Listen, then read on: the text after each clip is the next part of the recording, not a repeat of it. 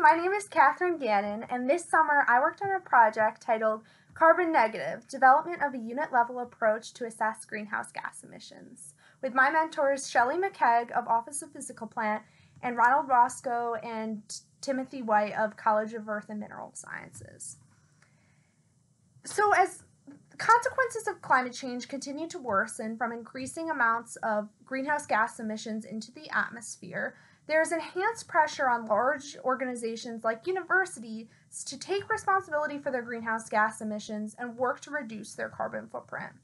While any action to reduce one's carbon footprint is, of course, beneficial, not all um, carbon emissions reduction strategies are equal depending on what sources contribute to an organization's um, carbon footprint.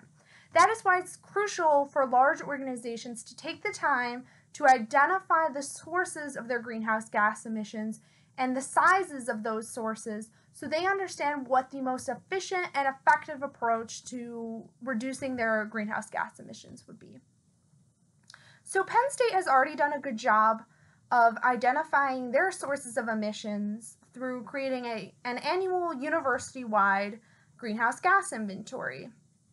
But the issue with this is its broad scope does not allow for individual units to understand their portion of the university-wide inventory.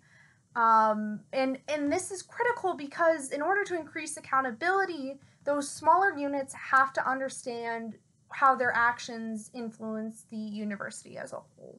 So that's why this summer the College of Earth and Mineral Sciences asked me to create a greenhouse gas inventory for just their college. And I looked at their building utility usage as well as their transportation emissions and calculated how much carbon dioxide they emit from those sources each year so they can better understand which sources have the greatest influence on their carbon footprint and what um, sustainability practices they should put in place to better manage their greenhouse gas emissions. So I will be talking more about the methodology of um, this approach in my lightning talk, and I hope I can see you there. Thank you so much.